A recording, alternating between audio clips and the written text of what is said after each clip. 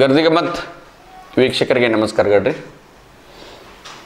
ಈ ಒಂದು ಇನ್ನು ಬರುವ ಎರಡು ಸಾವಿರದ ಇಪ್ಪತ್ನಾಲ್ಕರಾಗ, ಅಂದ್ರೆ ಹಾನಗುಡ್ದ ಪಾರ್ಲಿಮೆಂಟ್ ಲೋಕಸಭೆ ಇಲೆಕ್ಷನ್ ಬರ್ತೈತಿ. ಇವತ್ತು ಆಲ್ ಓವರ್ ಇಂಡಿಯಾದಾಗ ಬಿ ಜೆ ಪಿ ವಿರುದ್ಧ ಇಂಡಿಯಾ ಅಂತೇಳಿ ಇಪ್ಪತ್ತ್ಮೂರೇನು ಇಪ್ಪತ್ತ ನಾಲ್ಕು ಪಕ್ಷದವ್ರು ಕೂಡಿ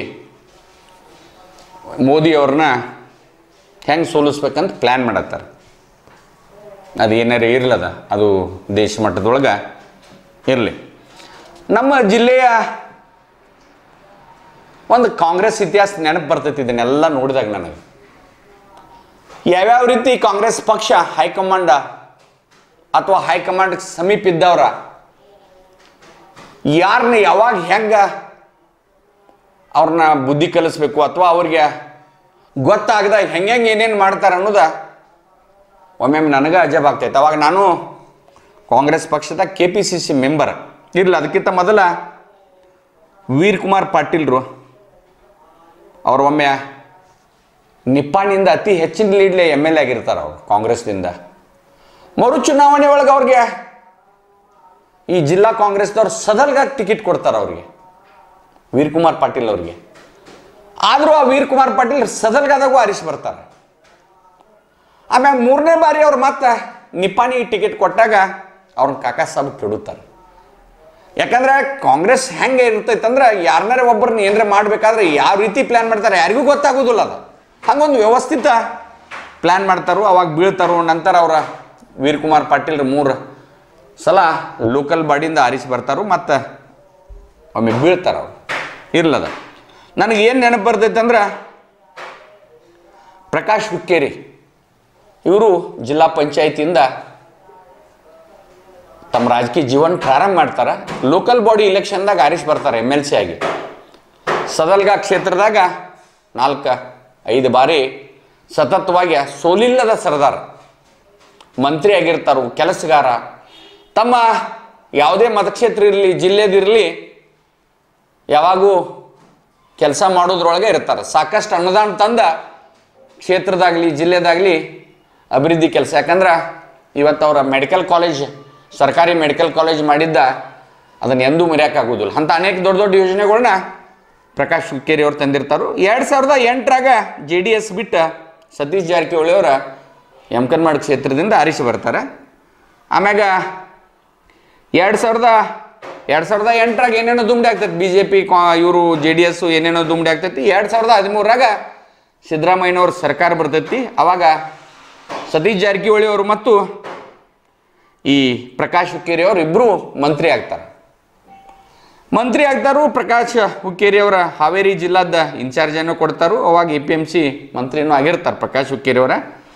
ಎರಡು ಸಾವಿರದ ಹದಿನಾಲ್ಕರ ಲೋಕಸಭಾ ಚುನಾವಣೆಯೊಳಗೆ ಪ್ರಕಾಶ್ ಹುಕ್ಕೇರಿ ಅವ್ರನ್ನ ಹೆಂಗಾರೆ ಮಾಡಿ ಲೋಕಸಭಾ ಕಳಿಸ್ಬೇಕು. ಅವ್ರಿಗೆ ಮನಸ್ಸಿರುವುದಿಲ್ಲ ಆದ್ರೆ ಅವಾಗ ನನಗೆ ಇನ್ನೂ ನೆನಪೈತೆ. ಪ್ರಭಾಕರ್ ಕೋರೆ ಅವ್ರ ಮಗ ಅಮಿತ್ ಕೋರೆ ನೆಬಿಸಿಬಿಡ್ತೈತಿ ಇಲ್ಲಿ ಕಾಂಗ್ರೆಸ್ದವ್ರು. ಈ Amit Kore B J P ಒಳಗೆ ಇರ್ತಾರಪ್ಪ ಪ್ರಭಾಕರ್ ಕೋರೆ ಅವರು. ಅಮಿತ್ ಕೋರೆ ಅವ್ರು ಕಾಂಗ್ರೆಸ್ ಬಂದು ಅವ್ರು ಕಾಂಗ್ರೆಸ್ ಟಿಕೆಟ್ ಕೊಡ್ತೈತೆ ಅನ್ನುವಂಗೆ ಒಂದು ಅಟ್ಮಾಸ್ಫಿಯರ ಈ ಜಿಲ್ಲೆ ಒಳಗೆ ಹೈಕಮಾಂಡ್ದೊಳಗೆ ಮಾಡಿದ ಮ್ಯಾಗ ಪಾಪ ಪ್ರಕಾಶ್ ಹುಕ್ಕೇರಿ ಅವರ ಮನಸ್ಸಿಲ್ದ ಎರಡು ಸಾವಿರದ ಹದಿನಾಲ್ಕರ ಲೋಕಸಭಾ ಇಲೆಕ್ಷನ್ಗೆ ನಿಂದಿರ್ತಾರೆ. ಅವಾಗ ಅರ್ಶು ಬರ್ತಾರೆ ಅವರು. ಪಾಪ ದಿಲ್ಲಿ ಒಳಗೆ ಅವಾಗ ನರೇಂದ್ರ ಮೋದಿ ಅವರ ಸರ್ಕಾರ ಬರ್ತೈತಿ. ಇಲ್ಲಿ ಬೈ ಇಲೆಕ್ಷನ್ದಾಗ ಅವ್ರ ಮಗ ಗಣೇಶ್ ಹುಕ್ಕೇರಿ ಬರ್ತಾನೆ. ಅವ್ರ ಮನಸ್ಸಿರೋದಿಲ್ಲ ದಿಲ್ಲಿ ಒಳಗೆ ಏನು ಮಾಡಲಿ ಬ್ಯಾಡ ಅಂದ್ರೂ ಕುಂಡಿಸ್ತಾರೆ. ಯಾಕಂದ್ರೆ ಇಲ್ಲಿ ಜಿಲ್ಲೆ ಒಳಗೆ ಒಂದು ಕಾಂಗ್ರೆಸ್ ದೊಡ್ಡ ಲಾಬಿ ಮಾಡಿ ಕಳಿಸ್ತೈತಿ ಆ ನಂತರ ಮಾನ್ಯ ಈ ಸುರೇಶ್ ಅಂಗಡಿ ಅವರು ತಿರ್ಕೊಂಡ ನಂತರ ಉಪಚುನಾವಣೆ ಒಳಗೆ ಸತೀಶ್ ಜಾರಕಿಹೊಳಿ ಅವ್ರಿಗೂ ಮನಸ್ಸಿರೋದಿಲ್ಲ. ಅವ್ರಿಗೂ ಕೂಡ ಉಪಚುನಾವಣೆಯೊಳಗೆ ನಿಂದ್ರಬೇಕಂತೇಳಿ ಅವ್ರನ್ನ ನಿಲ್ಲಿಸ್ತಾರೆ. ಅವರ ಹಣೆಬಾರು ಅಥವಾ ಏನು ಬೀಳ್ತಾರೆ ಅವರು. ಇವತ್ತು ಬಿದ್ದ ಮ್ಯಾಗ ಇವತ್ತವ್ರ ಮತ್ತು ಉಸ್ತುವಾರಿ ಮಂತ್ರಿ ಆಗಿದ್ದಾರೆ.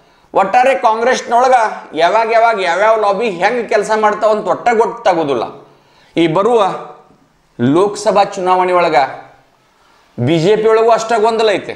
ಇವತ್ತು ಒಂದು ಕಡೆ ಈ ಅಂಗಡಿಯವ್ರ ಕುಟುಂಬಕ್ಕೆ ಟಿಕೆಟ್ ಸಿಗ್ತೈತೋ ಇಲ್ಲೋ ಅನ್ನುವಂಥ ಒಂದು ಗೊಂದಲ ಐತಿ. ಕಾಂಗ್ರೆಸ್ನೊಳಗೆ ಯಾರನ್ನ ಲೋಕಸಭಾ ಕೇಳಿಸ್ಬೇಕಂತ ಈಗಾಗಲೇ ಗುಂಪುಗಾರಿಕೆ ಆಗಿ ಹೈಕಮಾಂಡ್ಗೆ ಹೋಗಿ ಹೇಳಿ ಬರತ್ತಾರ. ಯಾರನ್ನ ಕುಂಡಿಸ್ರ? ಈ ವಾಸಲ ಚುನಾವಣೆ ಒಳಗೆ ಸತೀಶ್ ಜಾರಕಿಹೊಳಿ ಕಡಿಮೆ ಓಟ್ನಾಗ ಬಿದ್ದಾರು. ಅವ್ರನ್ನ ಮಾಡಬೇಕಂತೂ ಒಂದು ಗುಂಪು ಲಾಬಿ ಮಾಡತೈತಿ. ಮತ್ತೊಂದು ಕಡೆ ಸತೀಶ್ ಜಾರಕಿಹೊಳಿ ಅವ್ರು ಹೋಗಬಾರ್ದು, ಇಲ್ಲೇ ಇರಬೇಕಂತೂ ಒಂದು ಗುಂಪು ಲಾಬಿ ಮಾಡತೈತಿ ಒಟ್ಟಾರೆ ರಾಜ್ಯದೊಳಗೆ ಯಾರ್ಯಾರನ್ನ ಎಲ್ಲೆಲ್ಲಿ ಕಳಿಸ್ಬೇಕು ಅನ್ನೋದ ಒಮ್ಮೆ ಹೆಂಗೆ ಕೆಲಸ ಮಾಡ್ತಾವ ಅನ್ನೋದು ಯಾರಿಗೂ ಗುರುತಿಲ್ಲ. ಅದ್ರ ಹಿಂದೆ ಯಾರ್ಯಾರು ಇರ್ತಾರ ಅನ್ನೋದು ಆಮ್ಯಾಗ ಗೊತ್ತಾಗ್ತೈತಿ. ಅಟ್ರೊಳಗೆ ಕಾಲು ಮಿಂಚಿರ್ತೈತಿ. ಯಾಕೋ ಇದನ್ನ ಆನಂತರ ಈಗ ಪ್ರಕಾಶ್ ಹುಕ್ಕೇರಿ ಅವ್ರ ಮೈಂಡ್ ಲೋಕಲ್ ಬಾಡಿ ಮತ್ತು ಎಂ ಎಲ್ ಸಿ ಇಲೆಕ್ಷನ್ದೊಳಗೆ ಆರಿಸಿ ಬಂದರು. ಇವತ್ತು ಅವ್ರನ್ನ ದಿಲ್ಲಿ ಕಳಿಸಿದ್ದಾರೆ ಪ್ರಕಾಶ್ ಹುಕ್ಕೇರಿ ವಿಶೇಷ ಪ್ರತಿನಿಧಿಯಾಗಿ.